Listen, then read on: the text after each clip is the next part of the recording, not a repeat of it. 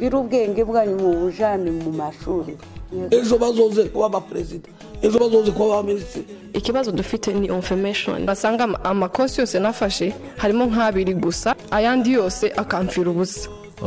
Uzi umurara wawe?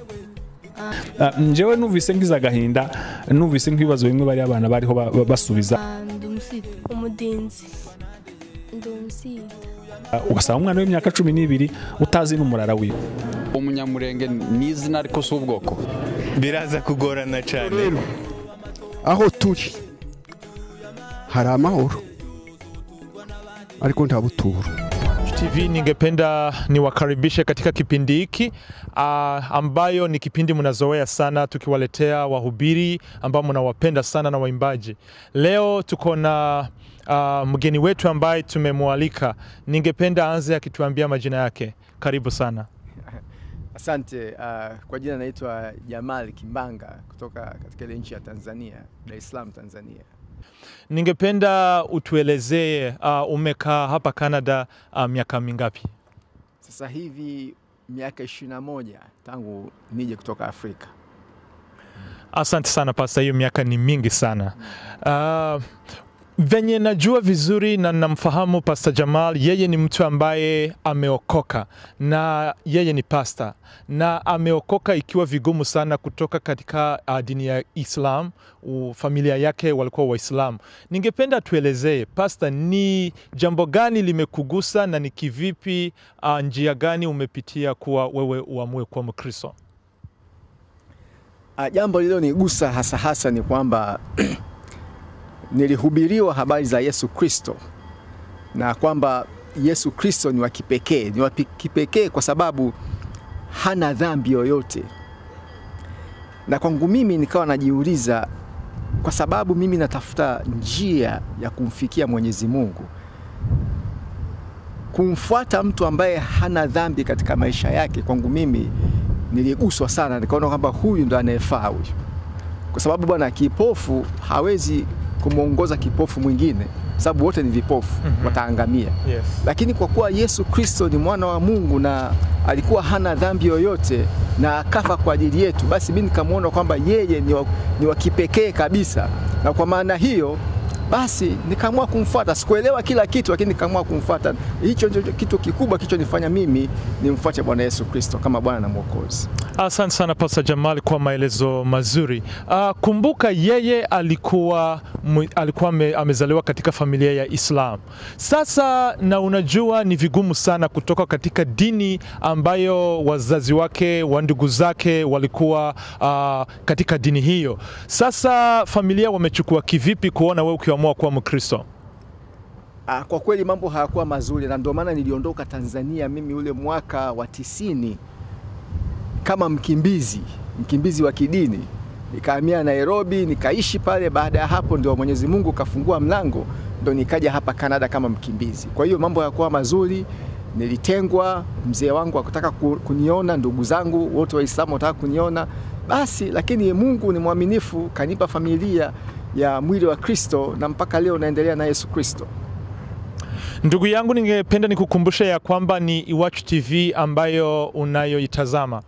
Uh, Pastor Jamal ameongea kwamba yeye imemfanya atoroke atoke Tanzania akielekea Kenya kwa sababu ya uamuzi ambayo alikuwa amechukua ya kuingia katika ya kuwa Mkristo. Kumbuka ndugu yangu, wewe ni Mkristo na okovu umeipata bure. Ningependa uichukue seriously kwa sababu kuna watu kupata okovu imewa, imewaomba wa, wa, wapeane gharama. Uh, Pastor Jamal, ningependa nikuulize sasa, kwa sasa uh, uhusiano wako na familia uko, uko kivipi? Mume wame, wamekusamehe ama bado hawajakusamehe? Ah, kwa kweli sio rahisi kufahamu watu wanawaza nini katika maisha yao, kwa sababu nilivyoondoka mimi nilikuwa mdogo. Kwa hiyo sasa hivi ndugu zangu wameendelea mbele na maisha yao, unaona bwana, wameoa, wana watoto wao, wana familia zao, tushakuwa watu wazima, na mimi na mimi nimeshakuwa mtu mzima na familia yangu. Kwa hiyo sasa hayo masuala hatuzungumzi, lakini kwa wale wachache ambao tunawasiliana, basi kila mtu ananyamaza kimya tu, unaona, kila mtu ananyamaza, lakini najua kwamba mama yangu mzazi yeye hana shida, najua kwamba Mungu anafanya kazi katika maisha yake. Asante sana Pastor Jamali. Kama mimi uh, niko hapa Canada hivi na familia zangu saa zingine naongea nao kwa simu. Sasa wewe Pastor Jamali, kuna wakati unafika ndugu zako wanakupigia simu mnaongea, ama bado hawaweza kupika kwa sababu ni Mkristo? Ah, mama nazungumza naye, mama ni mama tu, au sio bwana? Mama tunazungumza na kuna ndugu yangu mwingine tunazungumza, lakini saa wale wengine ndo unajua ndo hivyo hivyo tu, yani, yani tunabahatisha wakati mwingine kwenye Facebook unaweza ukamwona pale ukamshushia ukam- ukam- labda maneno, maneno, maneno mawili matatu, basi tunaendelea hivyo hivyo, lakini kwa kweli kila mtu ameamua kuendelea na maisha yake. Wow, wow, wow. Ndugu watazamaji, ningependa niwakumbushe ya kwamba Pastor Jamal yeye yako hapa ameamua kuokoka. Ningependa nikuambia ya kwamba okovu hii, ndugu yako ni yule ambaye mnaomba na yeye, dada yako ni yule. Lazima tuonyeshane upendo kama Wakristo. Uh, ningependa nikuulize Pastor Jamal, uh, umeamua wewe, nina, nimesikia mahubiri yako, huwa wewe ni mhubiri mzuri sana, hata unanibariki sana kupitia uh, your teachings ama mahubiri yako. So ni, na, ni najua ya kwamba ninafahamu ya kwamba umeenda kusoma teolojia, ukaenda kusoma Bible. Uh, nini call, calling imekuja kivipi uh, ndio uamue kwenda kusoma?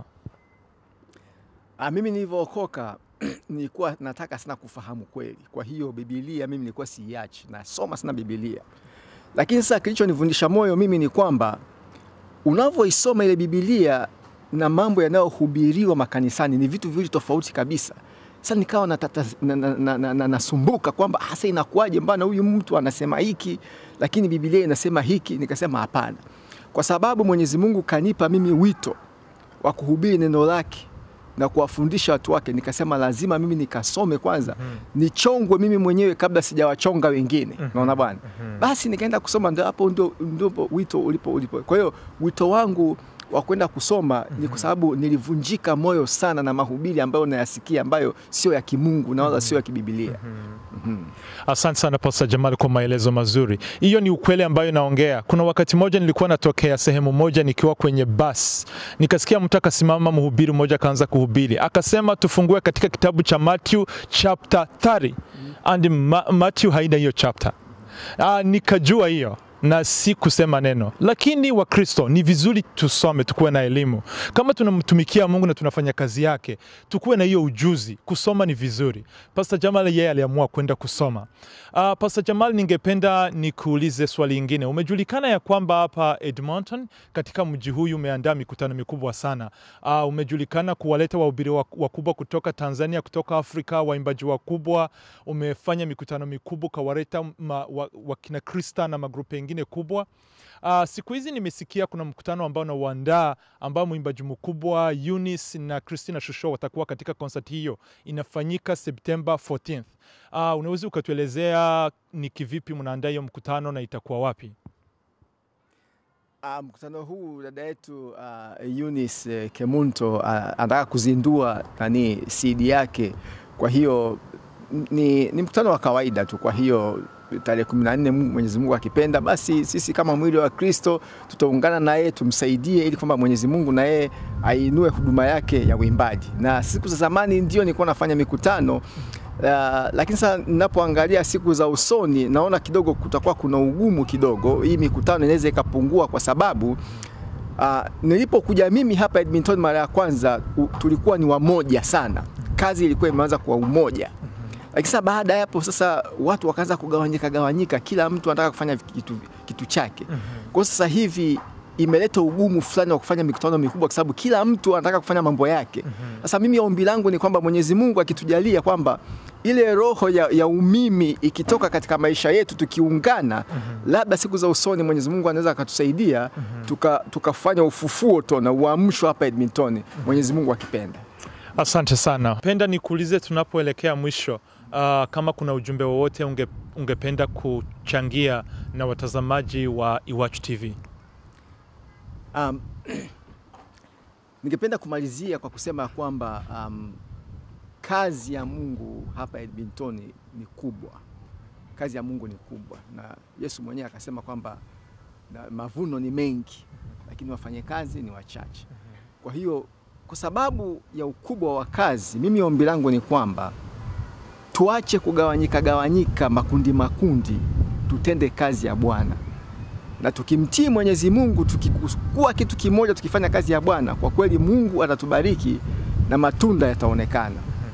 Lakini tukiendelea namna hii hii kugawanyika gawanyika, basi kwa kweli hakuna baraka, na unajua machoni pa Mwenyezi Mungu inakuwa kama itakuwa ni kama ni laana fulani kwamba kila mtu sasa anafanya mambo yake kwa kujitukuza yeye mwenyewe. Tuko mahali hapa ili kwamba tumtukuze Mwenyezi Mungu, tuinue kazi ya Bwana. Na mimi Mungu amenipa karama, Mungu amekupa wewe karama, Mungu amempa, amempa mtu mwingine karama, ili kwamba hizi karama zi, ziwe ni kitu kimoja na tu, tu, tumtukuze Mwenyezi Mungu hapa Edmonton. Kwa hiyo naomba kwamba tulizingatie sana swala hili na Mwenyezi Mungu atatubariki. Asanteni.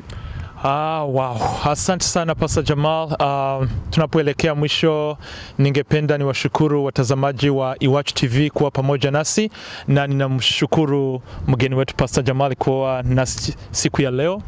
Uh, mimi kwenye microphone ni Nice na ndugu yangu Emas kwenye kamera. Tungependa tuwatakie siku njema na Mungu azidi kuwabariki. Tutaonana next time. Chao chao na Mungu awabariki. Thank you.